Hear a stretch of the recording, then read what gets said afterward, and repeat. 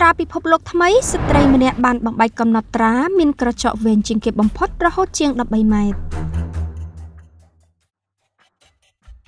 ស្ត្រីម្នាក់ឈ្មោះ Armstrong មកពីរដ្ឋ Minnesota សហរដ្ឋអាមេរិកបានបំបែកកំណត់ត្រាពិភពលោកថ្មីលើក្រចកដ៏វែងបំផុតរបស់នាងដែលមានប្រវែងរហូតដល់ជាង13ម៉ែត្រក្រោយនាងព្យាយាមថែរក្សាអស់រយៈពេល25ឆ្នាំ។ នាង Diana Armstrong អាយុ63ឆ្នាំមកពីរដ្ឋ Minnesota សហរដ្ឋអាមេរិកនៅក្នុងសប្តាហ៍នេះបានទម្លាយថាក្រចករបស់នាងមានប្រវែងសរុបគ្រប់ម្រាមចំនួន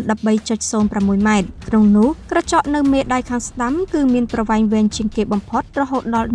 1.39ម៉ែត្រហើយសម្រាប់កូនដៃខាងឆ្វេងវិញគឺក្រចកមានប្រវែងខ្លីជាងគេគឺ71.1ម៉ែត្របើតាមឲ្យដឹងលោកស្រី Armstrong កាត់ក្រចករបស់នាងចុងក្រោយបំផុតគឺនៅក្នុងឆ្នាំ1997នាងបានឈប់លែងកាត់ក្រចករហូតក្រោយកូនស្រីរបស់នាងឡាទីសាបានស្លាប់ក្នុងវ័យត្រឹម16ឆ្នាំដោយសារជំងឺហឺតកូនស្រីរបស់នាងគឺជាមនុស្សម្នាក់គត់ដែលតែងតែកាត់ក្រចោះឲ្យនាងជាប្រចាំប៉ុន្តែក្រោយនាងស្លាប់ទៅអាំស្ត្រងក៏ស្បាត់ថានាងមិនធ្វើការកាត់ក្រចោះតទៅទៀតនោះឡើយគួរដឹងដែរថាកំណត់ត្រាចាស់នៃក្រចោះវែងជាងគេបំផុតលើលោកនេះគឺបានទៅលើនាងអាយ៉ាណាវីលៀមប៉ុន្តែមកដល់ឆ្នាំ